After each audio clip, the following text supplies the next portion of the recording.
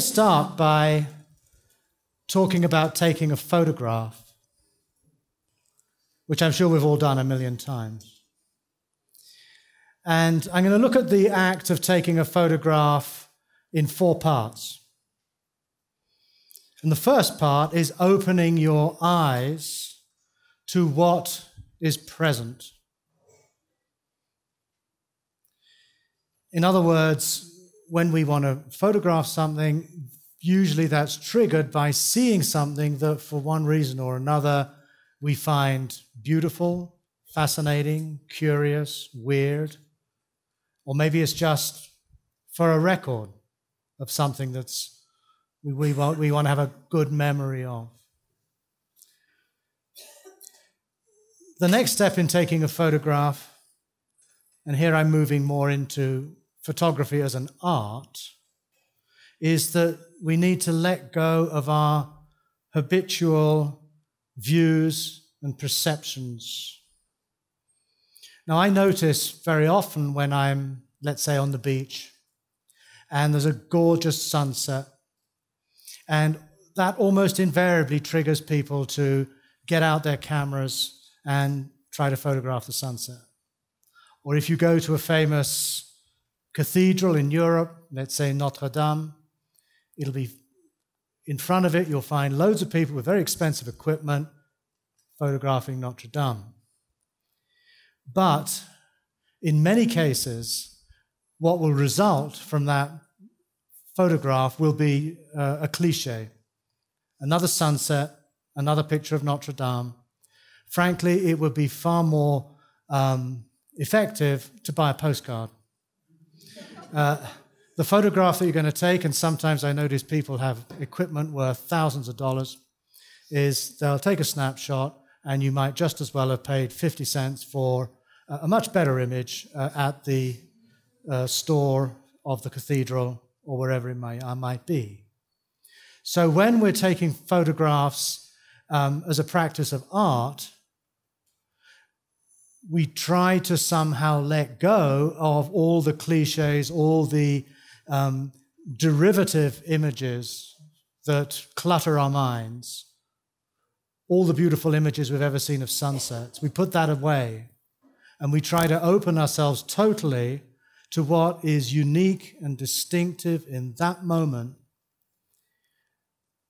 in such a way that we let go, we um, detach ourselves from our preconceived ideas, our concepts, our, our ideas, and whatnot, and at a certain point, we press the shutter.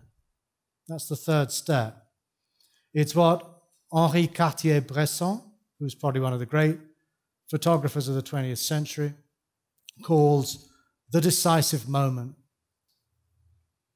And the fourth step is that we bring into being, through that decisive moment, an, an unanticipated image that reveals the world in a new light. A great photograph by, say, Cartier-Bresson is not just a record of a place or a sunset, but it enables the viewer to see that place, that object in a new way, in a new light. I've been practicing photography since I was about 15 or 16 years old.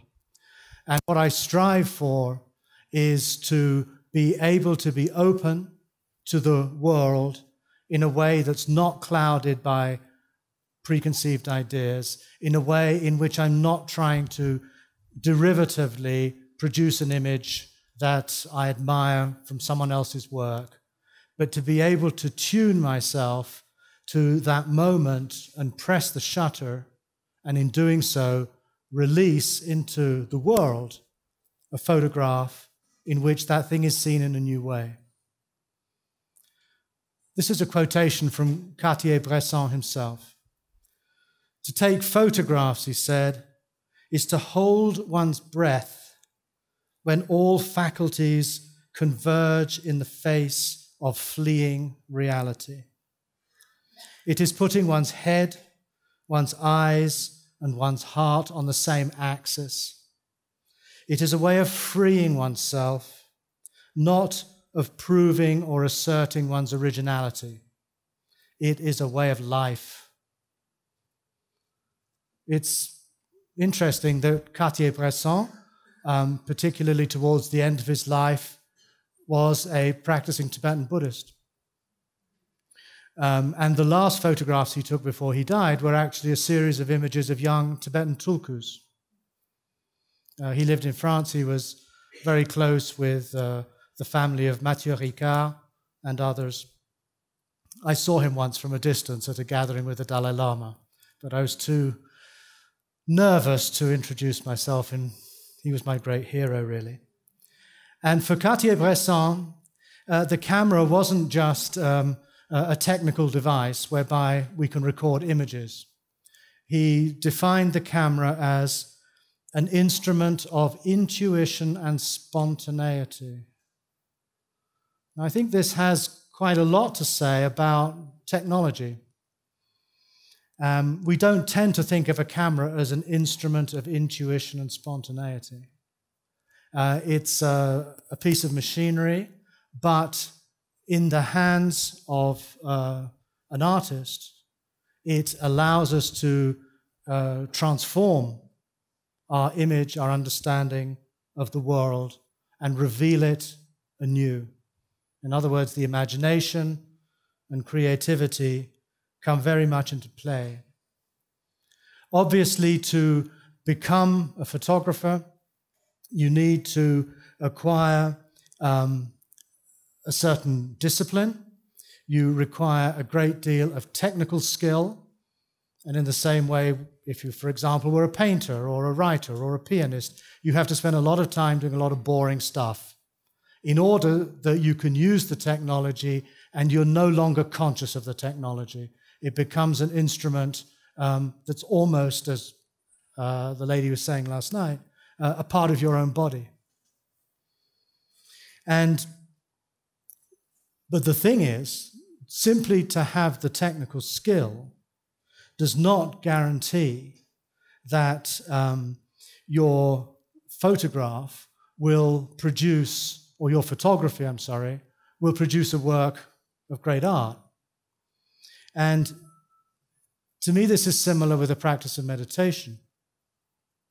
Um, one might have achieved considerable technical skill in certain meditative uh, disciplines, but simply to have achieved those skills is not a guarantee that your practice will give rise to great wisdom uh, or to great love.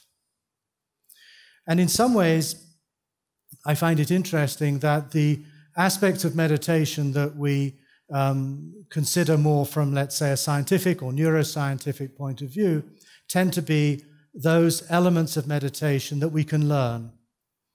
Mindfulness, concentration in particular, these are, as it were, technical skills. Uh, we've mentioned the word and inner technologies quite a lot during these last few days. And of course, there are um, ways described in considerable detail that enable us to become proficient in certain meditative skills and technologies.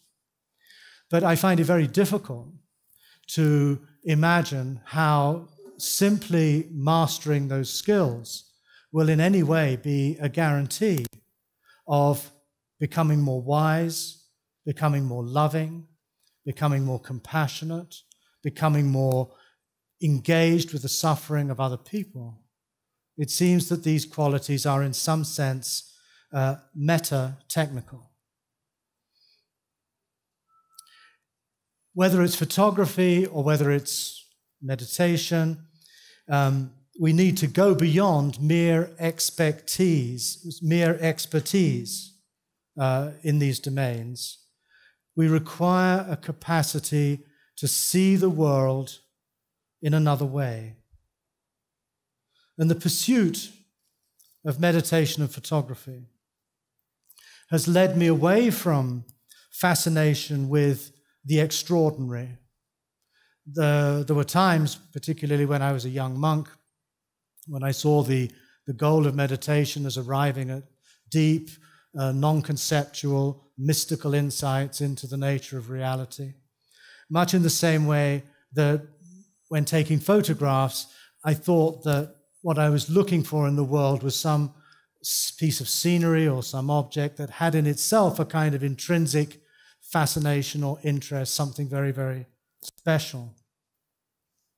But in many ways, I found over time that my interest in uh, both meditation and photography has brought me back to a heightened understanding, uh, a fascination, a curiosity with the concrete, sensuous events of daily life. Um, I'm not interested anymore in uh, gaining some transcendent experience, but rather I'm far more interested in learning to be more fully attentive to what is happening in this moment right now. So, the practice of photography um, over the years taught me to start paying much closer attention to what I see around me all the time. And I found that many of the photographs that I'm most uh, uh, happy with are those that are actually just taken of uh, their images taken of things that I see every day, but which I don't notice. Um, we tend to overlook what's going on around us. Um, we tend to take so much for granted. Um, we don't actually see what's right before our eyes. And this sensibility is exactly the same that I found through my practice of uh, awareness meditation, of mindfulness. It's not about arriving at some non ordinary uh, state of consciousness or some special absolute truth or something, but rather to learn to be more fully present uh, to what is actually occurring here and now. So rather than a technique, I would understand meditation more as a sensibility, and a sensibility that originates and culminates in the everyday sublime. The everyday sublime. The sublime is a term much used in the Romantic tradition, and it has to do with those experiences of life which are both fascinating and, in some sense, terrifying. And I think a great deal of our lives are spent somehow protecting ourselves against the sublime.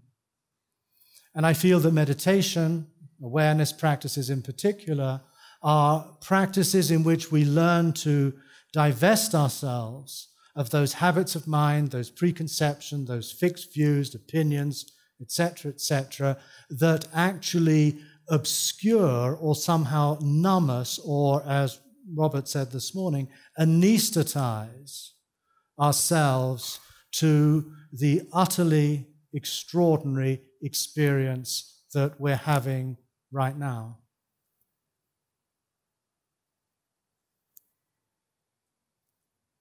I also work as a translator and a writer.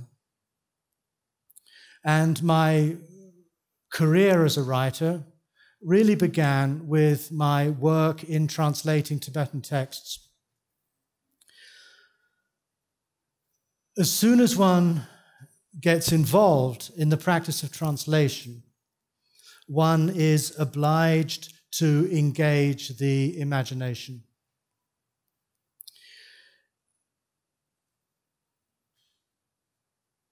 the tradition can, can help us a great deal in understanding what a particular term means, but it can't actually provide us with any help at all in finding uh, the most appropriate English word uh, to convey that idea. So, to translate is unavoidably a process of interpretation a process of what we were talking about this morning of innovation.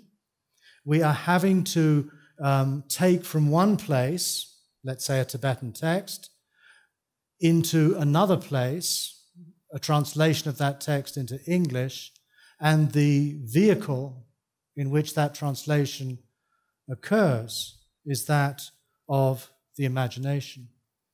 Translation literally means to carry something over from one place to another. As a translator, I've moved away from translating uh, classical texts, although that is still something I'm, I'm very much involved in, but I don't see it as my, my primary work anymore, to translating ideas. And so much of what we've been talking about over the last days is basically how do we translate a particular doctrine, a particular practice, a particular uh, element of Buddhist culture in the East. How do we translate that into a form of words, a form of images, uh, into some form of medium um, in which we successfully take it from a culture that was not our own, ancient Tibet or Japan or wherever, into the culture of our own time. Now, I feel that in many ways, it's not a question, therefore, of whether or not we should interpret classical teachings, but it's a question of how we should interpret classical teachings. We don't have a choice. That as soon as we hear a teaching, we are in a way called upon to integrate and to bring that teaching into relevance for our own life in the 21st century. And that entails an act of the imagination. Now, very often, the traditional uh, teachers and doctrines and so forth can give us a great deal of support in finding uh, our own uh, voice in this way, but at a certain point, um, I feel that they can get in the way. In other words, there's a sort of uh, taboo against uh, taking this too far. And I feel this is a tension that is perhaps unavoidable at our present time. Buddhism has not yet found a form that is distinctively modern. We are in the process of um, moving from one Asian culture into modernity. And each of us is engaged in this process of translation. Buddhism, as I understand it, has survived through the ages not because it has preserved something unchanging and uncorrupted. And that, I think, is often the myth of, uh, uh, of uh, traditional thought is that somehow we've preserved something without any adaptation or change from what was uttered two and a half thousand years ago by the Buddha. And many of the traditions have developed polemics and rhetorics to somehow argue that what you're hearing now is exactly what the Buddha taught in 500 BC. And historical study um, or analysis of these lineages and traditions shows quite quickly that an enormous amount of transformation and change has gone on. And that um, we begin to understand when we look at the history of the Buddhist tradition that it has been a constant process of reimagining the Dhamma. So Buddhism has survived not because it's preserved something unchanging, but because it has succeeded on many different occasions, when it went to China, Tibet, Japan, in imagining itself differently. Traditional schools are rather uncomfortable about acknowledging that. But for us in the West, historical consciousness is inescapable. We cannot but see Buddhism as, as David Loy was mentioning this morning, as also characterized by the very features that it describes all other things as impermanent, as dukkha. Buddhism is, in a sense, imperfect, unsatisfactory, and at the same time, Buddhism is insubstantial. There is no essential Buddhism. There is no essence to Buddhism. And that can sometimes feel uncomfortable. In that regard, or in this regard, it seems to me that Buddhism is perhaps better compared to a living organism that over time evolves and adapts to new environments. And in that sense, just in the same way that you would find it very difficult to define what is the essence of an elephant, what is the essence of a butterfly, in the same way, I don't think we can talk about the essence of Buddhism. It is a non essentialist tradition. It's concerned with living processes that are continuously changing, evolving, and adapting, and cannot be reduced to a particular uh, state or a particular final definition of what it really is. And perhaps the best way in which this is illustrated traditionally is in the Buddha's parable of the elephant and the blind man. Uh, an elephant is brought into um, a place in the town uh, at the order of the king, and the king then invites the blind people of the town to um, come and tell him what this thing is. And so the person who touches the side of the elephant says it's a wall. The person who touches the trunk says it's a trumpet. I'm sure you all know this story.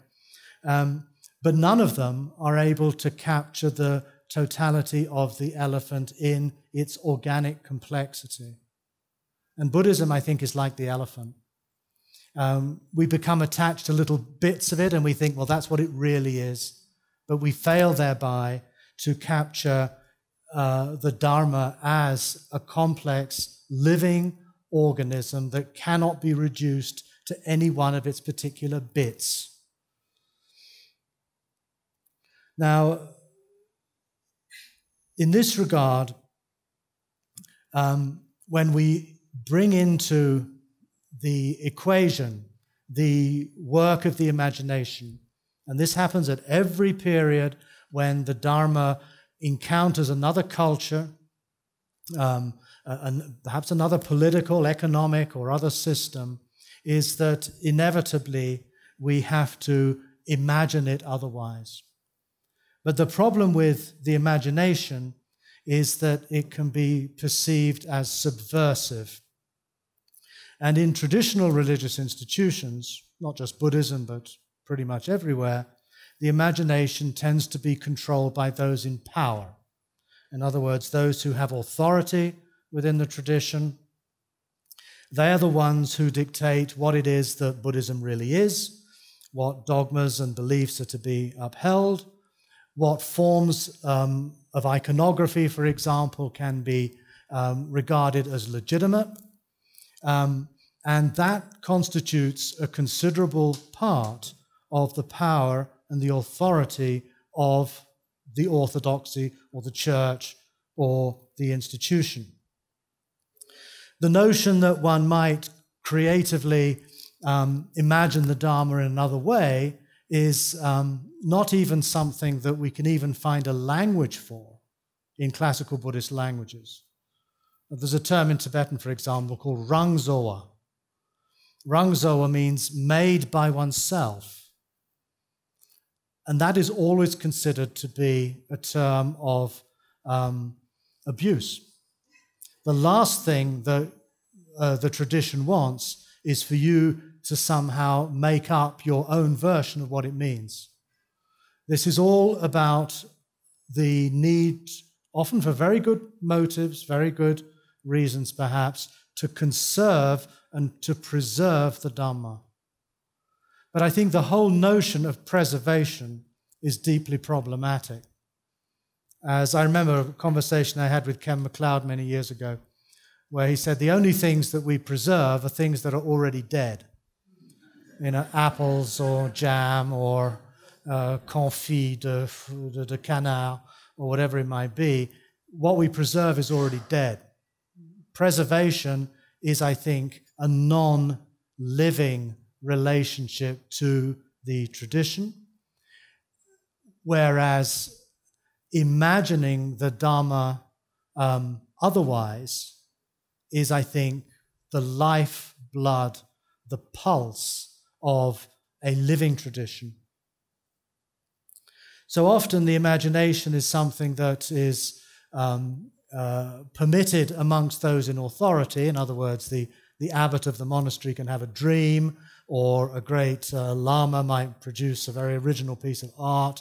But if your ordinary, unenlightened uh, follower exhibits any such tendencies to be imaginative or creative, they tend either to be ignored or dismissed.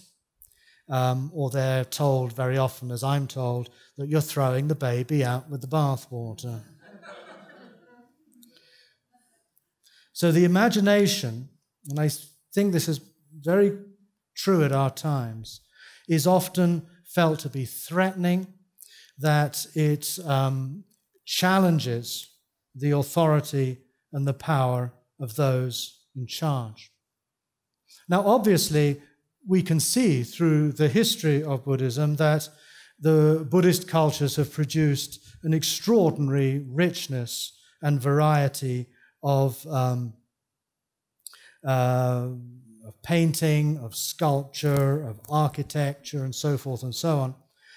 But what is striking, I find, is that with a few exceptions in Japan, um, Buddhists have not actually uh, thought about the process of creativity or imagination itself. And in fact, in most classical Buddhist languages, we don't even have a word for it creativity, imagination. There's no, or not yet, um, evolved a Buddhist aesthetics. In other words, a, a way of thinking about what constitutes the beautiful, what constitutes the sublime. And that, I wonder, may be a, um, a challenge that perhaps we can meet in modernity is to arrive at a, a way of thinking about uh, aesthetics from a Buddhist uh, perspective. I like to think that we might be able to um, cultivate a democracy of the imagination in which each individual practitioner, each individual uh, Buddhist community is empowered not just to, um, to, to, to, do certain practices or, or master certain philosophies, but also to imagine the Dharma in another way, both for the individual and also for the society itself. And in our, our own world, we find that we very often find that uh, inspiration and, uh, and meaning are less present for us in uh, static uh, icons and religious um, archetypes, and more found in the dramas of uh, theatre and music and novels and films. Um, again, I feel that we, in the practice of the imagination, we will evolve forms that we would now consider um, maybe secular, uh, novelistic, or, what, or whatever. But through novels, for example, and I read a lot of novels, uh, and I'm very, very suspicious of the notion of Buddhist fiction or Buddhist art. I think as soon as you uh, label that artistic process as Buddhist, you've more or less killed it. That I feel a more useful way to think of this is to recognize that pretty much in all great artistic accomplishments, we find the world revealed to us in a new way that very often allows us to see precisely those elements that the Buddha asked us to pay attention to impermanence and death, the tragedy of life, um, the beauty of things, the insubstantiality of things, how a character in a novel is constantly evolving and changing and adapting and learning.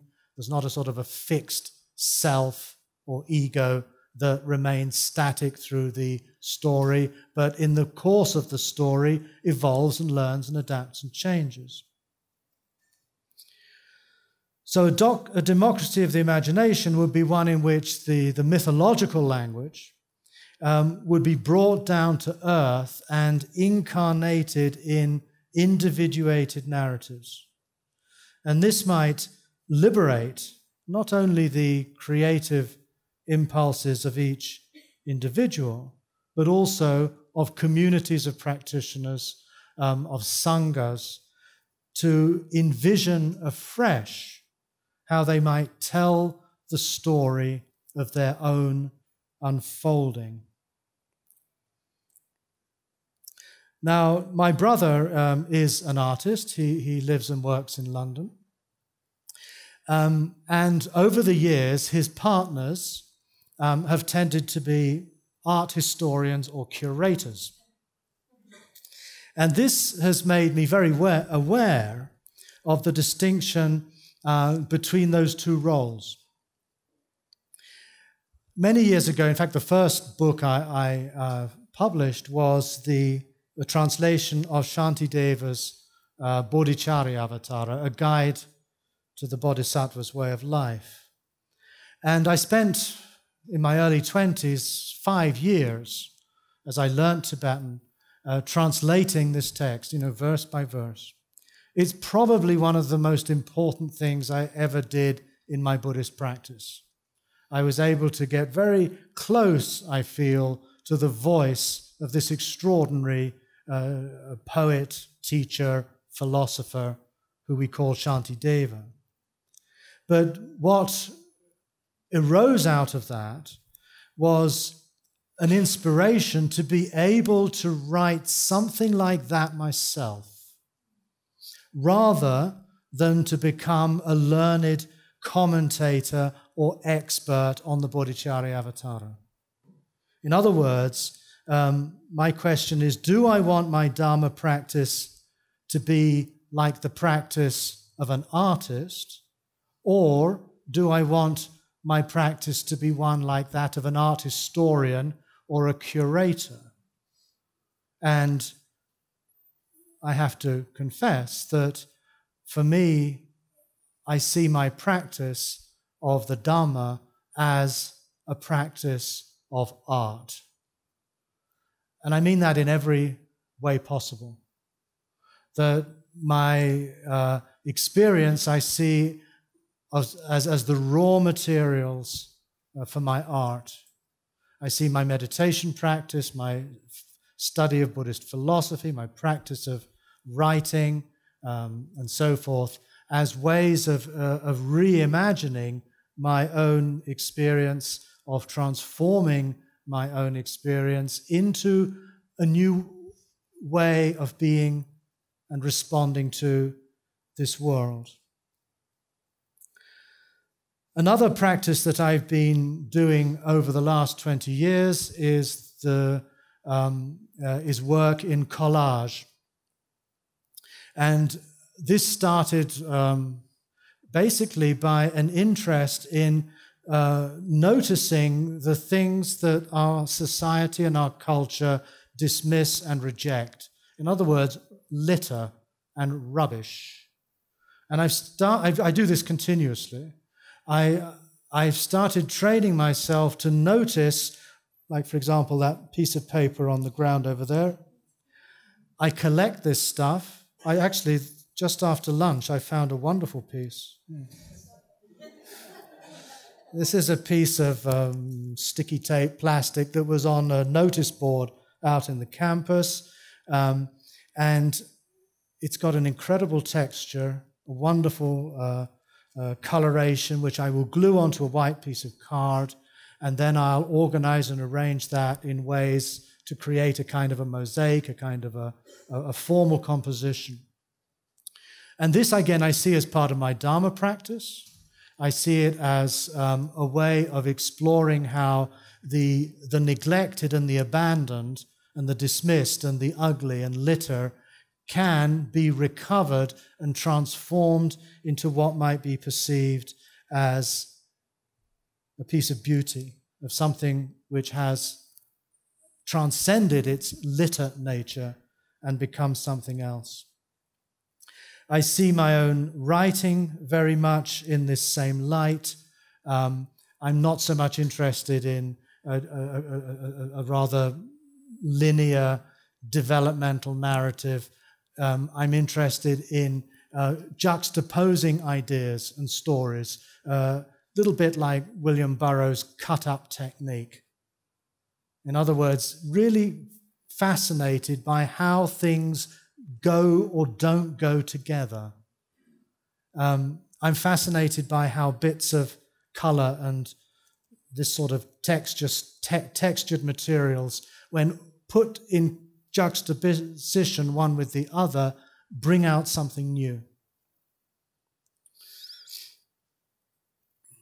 So the Dhamma, as I understand it, um, is a, a body of impersonal ideas and values and practices, again, like bits of stuff, that are creatively reimagined over time and brought into a different set of configurations. We have to remember that shortly before the Buddha died, um, he said on, on two or three occasions, um, and I'll just quote one of them. This is from the Mahaparinibbana Sutta. He says, After my death, Ananda, do not think you will not have a teacher. The Dhamma will be your teacher. Um, the Buddha could have used the word guru, but he didn't, at least in the Pali materials. That I feel that what was very distinctive about his approach is that he didn't see the teacher as an authority figure um, who imposed a kind of doctrine or orthodoxy on the students, but rather the teacher was a kalyanamitta, a good friend whose purpose was to lead the student into the Eightfold Path. And one of the characteristics of entering the Eightfold Path is that you become autonomous in your practice. You become aparapacchaya, independent of others in the teaching. And that is a term, again, not widely spoken of in much Buddhist literature, but one I think that renders the Buddha's teaching as a path of, of, of, of autonomy and independence. So, for me, the practice of the Dharma has very little to do with adopting a set of metaphysical beliefs, and it has everything to do with applying a set of injunctions. In other words, Buddhism is not something that we learn to believe, but Buddhism is something that we learn how to do. So I've spent a lot of time in the last years trying to rethink what are called the Four Noble Truths as four noble tasks. The, rather than thinking of, you know, life is suffering or there is suffering, the origin of suffering is craving, to look as the Buddha himself says at the conclusion of his uh, first discourse, that suffering or dukkha, I don't really like to translate this word, dukkha is something to be fully embraced, uh, craving or grasping is something to be let go of, the stopping of craving is something to be experienced for oneself, and the Eightfold Path is something to be created and cultivated. And that describes a process, a living process. Let's go back to where we began with the taking of a photograph. And how might this serve as an image of the practice of the Four Noble Tasks? Opening your eyes to what is present, the first injunction of photography, I feel is very similar when extended to the totality of our life to embracing dukkha, to being totally open to the experience of oneself and others, to be unflinching, to be totally honest in an awareness of what is actually going on, not only inside me here, but in this world that we share with others right now. The practice of the first noble truth is the practice of being totally open to uh, life itself. In the taking of a photograph, we try to let go of our habitual views and perceptions and cliched images. And in the same way, in the practice of the Four Noble Tasks, we seek to let go of grasping and craving, greed and hatred and delusion. And the way I understand this is that in embracing dukkha, in being totally there with the world, that is actually the condition that, in a way, sees through the pettiness and often the absurdity of our attachments and our narcissism and our greed and our fear. The third step in the taking of a photograph is to release the shutter. In other words, to stop, click. And this, I think, is very similar to the stopping of craving, the stopping of grasping, even momentarily. I'm not thinking here so much as some final permanent state, but those moments when we find that that reactive patterning has stopped it's like the pressing of the shutter, the decisive moment. And that's not an end in itself. That actually is the beginning of the path. So just as a pressing the shutter opens up an image of the world in a way that we've never quite seen it that way before, in the same way, the stopping of grasping, of egoism, allows us to respond to the world in ways that we could not have anticipated or could not have foreseen. And that is a process that the Buddha encourages us to bring into being. The word is bhavana. Sometimes I think rather poorly translated as meditation or development, mental development is how Bhikkhu Bodhi translates it.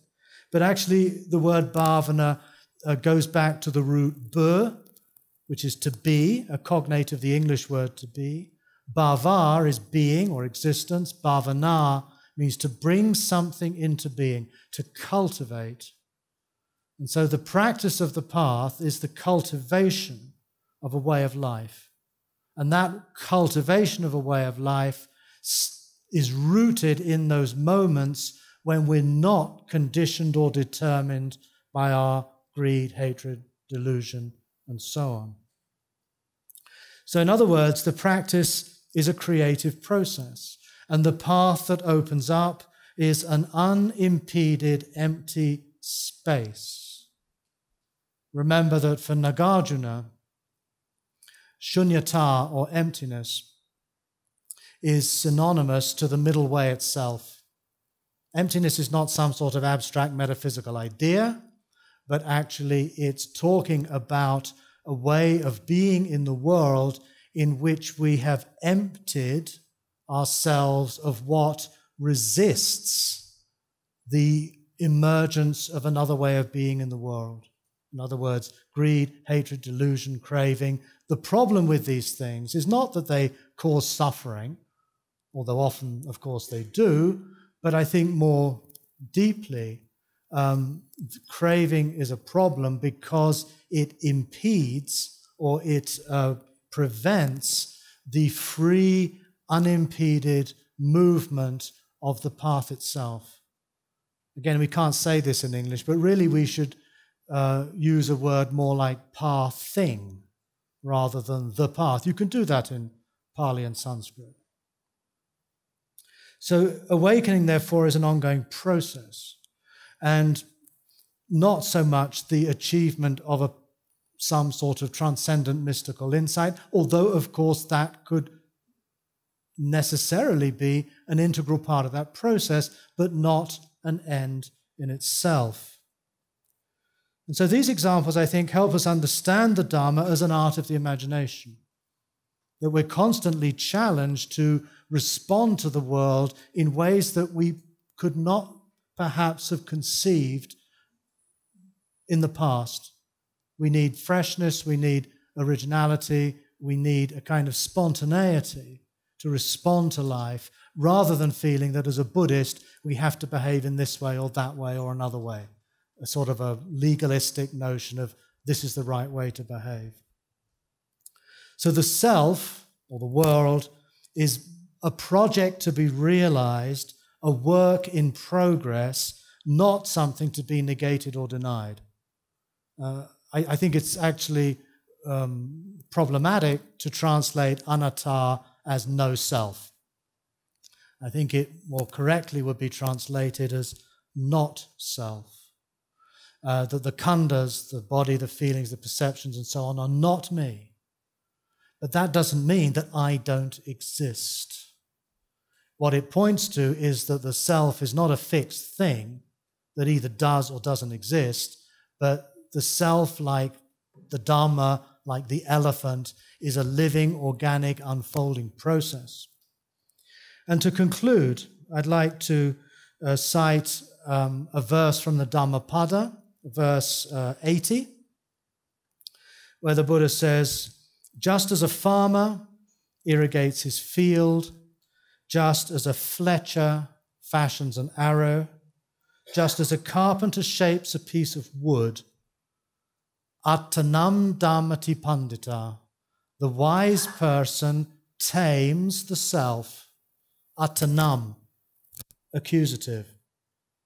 In other words, the self is not denied, but the self is compared to a field, an arrow, a block of wood that can be worked on. It can be irrigated, it can be fashioned, it can be carved, it can be sculpted. And this to me is a, a wonderful um, image of how we might understand our practice. It's not about getting rid of me or the self. It's certainly about letting go of a certain fixed notion of self, but that allows us to open up to our experience as a process that is continuously unfolding. And our practice, like that of an artist, is the practice of irrigating ourselves, fashioning ourselves, shaping ourselves, and by implication, irrigating the world, fashioning the world, shaping the world.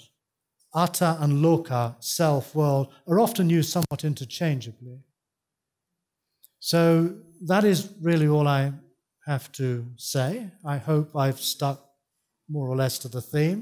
And we still have about 10 or 12 minutes in which I'd be happy to respond to any questions that you may have. Yes. I, I have a very simple question.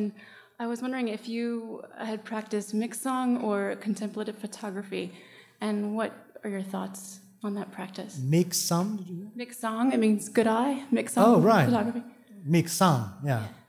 Do I practice contemplative photography? Well, have you, and, and what are your thoughts on that practice? Well, um, I did actually. I was actually. I did actually see a book that was published by Shambhala recently on contemplative photography, and the author or authors of it, um, while it was still in the galley-proof stage, discovered that I also did photography, and they contacted me with the possibility of writing a blurb.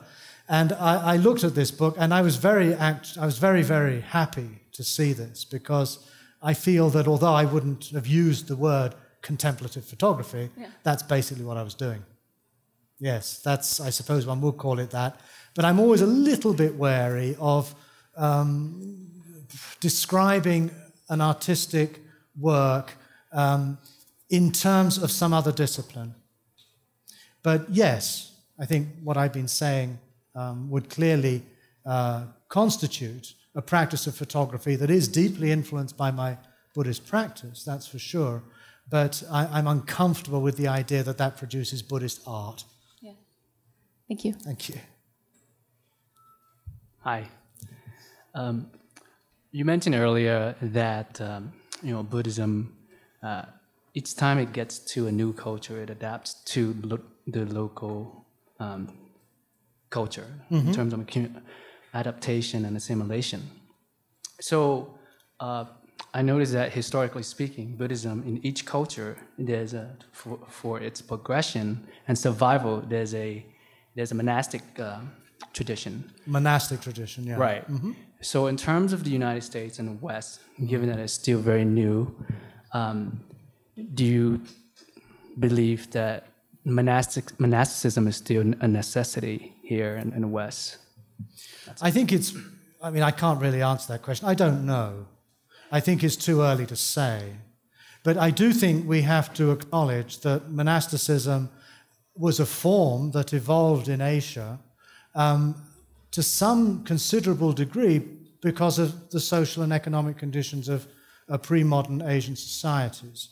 Um, monastic institutions often like us to, uh, to, to, to pro- project the idea that there's something inherently spiritual about being a monk or a nun. I don't think that's true. Um, I've lived in monasteries as a monk, um, and I found that Buddhist monasteries are in many ways not places where the spiritual cream of the society is sort of ladled off, but actually, uh, Buddhist monasteries are a microcosm of the society. Right, as people um, levitate and. Sorry?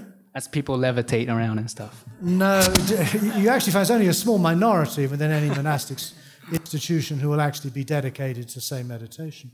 Um, I'm not sure that, I think the social and economic conditions of our time, the fact that we have general uh, education and we have considerable amount of leisure, um, the circumstances are so different today that I feel it's quite open to question as to whether Buddhism will need to perpetuate monastic traditions as a kind of uh, necessity for the survival of the Dhamma. Um, I, I, one of the interesting usages uh, that one hears a lot is that um, it's often said that you know the, the monks and the nuns are described as, as the sangha. That's very common in Buddhist societies, but you never find that usage in the early canon. When the Buddha describes the sangha, he describes it in terms of what he calls the eight types of individuals. In other words, the stream entrant, the once returner, the non returner, and the arahant. In other words, the sangha is not defined by your lifestyle, by taking certain vows. The sangha is defined by the degree to which you have given your life to the realization of certain values the Buddha, the Dhamma, and the Sangha. And the Buddha speaks of a fourfold Sangha monks, nuns, laymen, laywomen. And I think it would be good to try to recover something of that early notion of Sangha um, and to see how, in our time, the, the needs of each practitioner can best be met. Do we need to have monastic orders, and does that somehow give you some advantage or not? Um, I think that's um, an open question. I don't have an answer. Thank you. Um, I want to ask you about the concept of identifying oneself as a Buddhist and what that means in relation to your perspective on letting go of the beliefs as the definition of practice and I, I don't like to identify myself as a Buddhist. I don't. That's I'm kind of here despite it being called Buddhist Geeks rather than because of.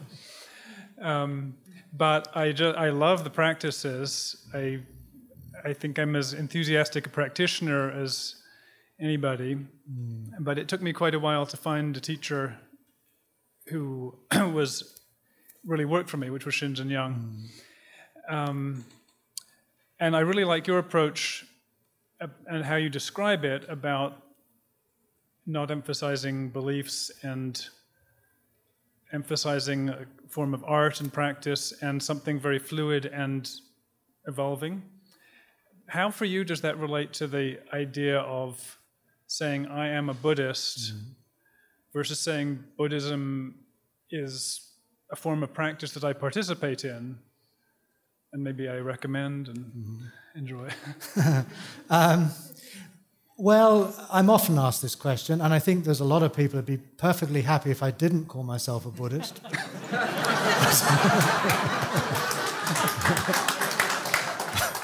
but perhaps because of that, I do call myself a Buddhist.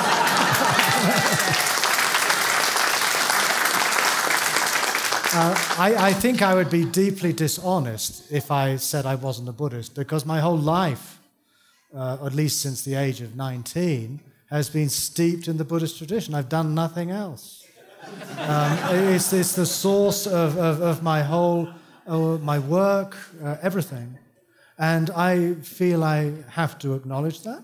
I'm also uncomfortable with the word Buddhism. I'm not very happy with that. It's a term that was only uh, it, was, it was coined in the early 19th century. There's no equivalent word for Buddhism in Tibetan or Chinese or Pali. Um, one is a follower of the Dhamma or a follower of the Buddha. Um, and perhaps over time we might be able to evolve a language whereby we can jettison these ism words altogether and to think of oneself as a practitioner of the Dhamma. That is how I'd like to see it, really. Um, but I do think we need to acknowledge, or I feel I need to acknowledge, my indebtedness uh, to this tradition. And um, also, there is a sort of an idea in the West that we don't need these labels anymore.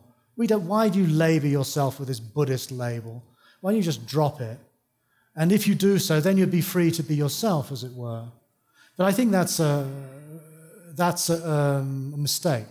I don't think, I think someone else mentioned this if I were to drop the word Buddhist or Buddhism, essentially I would find myself as being described as a secular humanist, probably. Uh, I don't think you can ever step out of tradition. I think it's an egotistic illusion to think that you can live independently of tradition. Um, if you're like, secular humanism is probably the tradition that most non-religious people in the West would actually belong to, although even though they wouldn't declare themselves as such. And so I feel more comfortable and I feel more honest to myself. And I also feel an ability to somehow uh, bring to other people through my writings and through my work um, the richnesses of the Buddhist tradition. And that is my vocation in this life. Thank okay. you. Hi, so uh, I generally have found myself in very much the same boat as the gentleman in front of me. And uh, I guess, you know, sort of beyond, beyond the question of identity and, and labels and stuff like that, um, I'm curious uh, what perhaps experience or at least ideas you may have about what a, a community, uh, body of discourse, community of practice uh, around uh, around you know Buddhism could be, which sort of has perhaps a healthier relationship uh, in managing the tensions between uh, preser uh, preserving uh, the the value of you know what is sort of calcified within tradition versus you know the the inherent necessity for individual reinterpretation and reimagination. So, what sort of community would best serve that purpose? Yeah, yeah. I'm curious if, mm. if there are waypoints that you've noticed, or if Way, perhaps waypoints. Yeah, yeah, points of reference. If there, okay. if there, I think you know, perhaps communities uh, or bodies of discourse which I which you think uh, have, have, managed this relation, this tension in a healthier way, or which you know, in, insofar as you've been thinking mm. about this, if you have ideas of what it would look mm. like. Um, well, first of all, I think one has to think of I find it helpful to think of community not as something that you, you join or something that you find, but as something that you create. Right. Community, eh, for me, is a practice. And it's a practice of basically forging and developing friendships and connections and relationships and actually working at that. Uh, there's a sense that uh, you, know, you know, you join a Buddhist Sangha and then you'll somehow experience community. Not necessarily.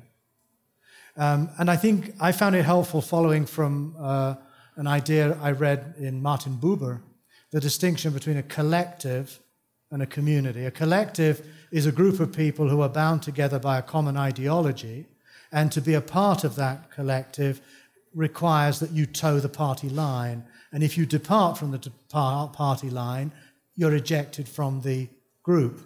That's a collective. A community, for me, is um, uh, a network or a set of friendships and relationships that serve the individuation of each member of the community. I don't see a conflict between becoming, as well, realizing one's potential as an individual and belonging to uh, and being an active and participant within a community. I think community lives through the nurturing and the development of relationships that helps each person, uh, in a way, realize their own potential and values and goals. And so I'm supported by the others in that community, and hopefully what I do can help support them. That would be my ideal. In practice, I think we, again, people ask me this all the time. You have to make use of what's available. It's like the raft analogy again. If you live in Idaho, in the middle of nowhere somewhere, and you're looking for a community, you take what's available. You, you, you look around and find what you can get. It might be that you join a Quaker group it might be that you join some Buddhist group who you don't necessarily totally agree with in every respect. I don't think that matters. Mm-hmm. I think we need to be creative here, and if we can't find a community that suits us, create your own. In other words, you know, put a notice in your local health food store saying, "My meditation at six o'clock every Thursday at my place." See what happens. So again, it's it's it's an it's a work in progress. Yeah, I can't define what would be more or less suited to that. I think each of us have to find our own way and be willing to, you know, take risks, um, to recognize and accept that most or many communities are, are imperfect in some way, and, and just, you know, work on that. And well, and beyond the, the question of institutionality and, and uh, mm. personal, you know, collectivity, um, what about the, the sort of issue of discourse and how to how to communicate in a way which both preserves the knowledge and and also facilitates and, and mm-hmm. encourages mm-hmm. this, this, Well, that again is, is a work in progress, and and I think I don't think the I don't think the Dharma will actually, uh, in a way, engage or enter into our society unless it can uh, find an idiom, a way of speech that is both truthful to the sources of the tradition but also is speaking the language of our time. And that's, I think you can historically, that's what happened in Tibet, in China, every, everywhere Buddhism went. There was a period, usually of 100 or 200 years or more, before an indigenous form of the Dhamma emerged in which there was the, uh, some sort of magical moment, a point where your discourse is rooted in the tradition and at the same time speaks in an authentic and lucid and engaged way in the idiom of your culture and your time.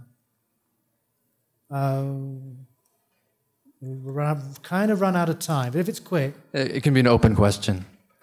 Um, how would you, you, you, mentioned something about, and I might be paraphrasing, empowering um, communities of practice to interpret the Dharma and to make it a living mm-hmm a living uh, a path or whatever for, for themselves. So, how would you recommend the the people in this room uh, use their experience and their power and their resources and energy to empower communities to keep things alive? And you know, yeah, it's it's an open question. uh, well, one one word answer: wisely and compassionately. Maybe we have to end here. Yeah. Thank you.